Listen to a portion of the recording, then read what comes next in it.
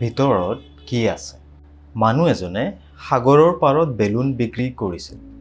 তেওঁ এটা helium gas ভৰ্তি বেলুন আকাশলৈ উৰুৱাই দিয়ে আৰু তাকে দেখি ওচৰ পাজৰৰ ল'ৰা ছোৱালীবোৰে বেলুন বিচাৰি তেওঁৰ ওচৰ পায় তেওঁৰ বেলুনৰ বিক্ৰী ভাল।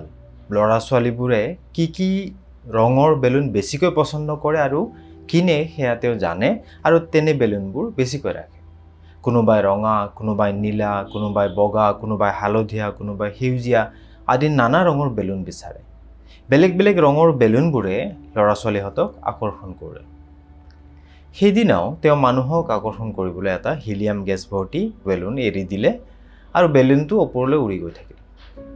অলপ পিছতে কোনোবাই তেওঁ কাপোৰ ধৰি টনা যেন পাই তেওঁ চালে চাই দেখিলে যে সৰু ল'ৰা এটাই তেওঁক মাতি আছে।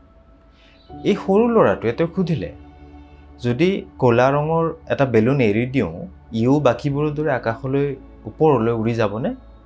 মানুহজনে মৰমেৰে সৰু ল'ৰাটোক উত্তৰ দিলে অঁ ই বহু ওপৰলৈ যাবগৈ।